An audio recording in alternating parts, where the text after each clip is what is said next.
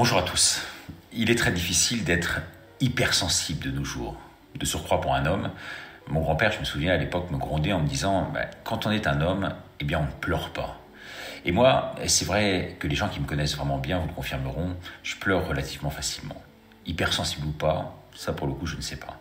Toujours est-il qu'il ne s'agit pas uniquement de pleurnicher devant un beau film d'amour, en écoutant une bonne musique mélodieuse ou fondre en larmes à un enterrement, parfois une sensiblerie un peu déplacée.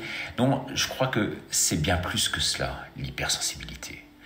C'est une forme de tempérament propre qui entraîne une intolérance à tous les stimuli sensoriels et une vraie difficulté dans les contacts sociaux.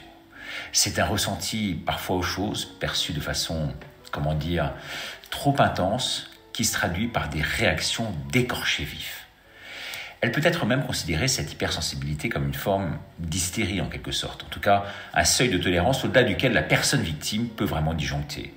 Alors, il faut savoir aussi que cette sensibilité psychologique extrême, comme on pourrait la nommer, s'accompagne souvent d'une extrême sensibilité corporelle, cutanée, avec des poussées de boutons, auditive, avec un, un gène évident au bruit, digestive aussi, matérialisée notamment par l'allergie au gluten.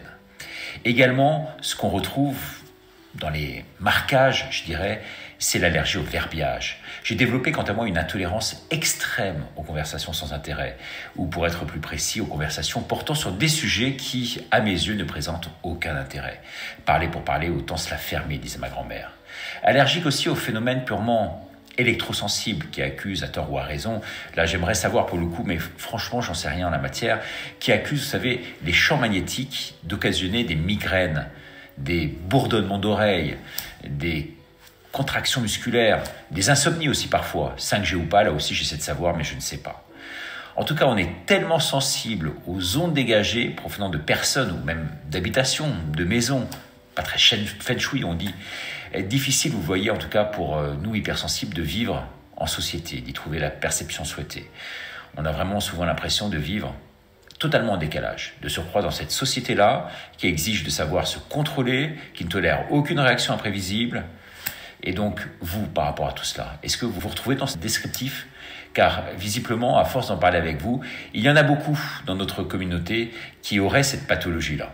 Merci de me rejoindre sur ma plateforme et me dire quels seraient vos symptômes et notamment la posologie que vous pourriez utiliser, en gros des conseils à nous donner pour sortir de cette situation qui parfois et disconvenante, en tout cas inconfortable. Merci à vous et à demain pour une nouvelle minute. Au revoir, portez-vous bien.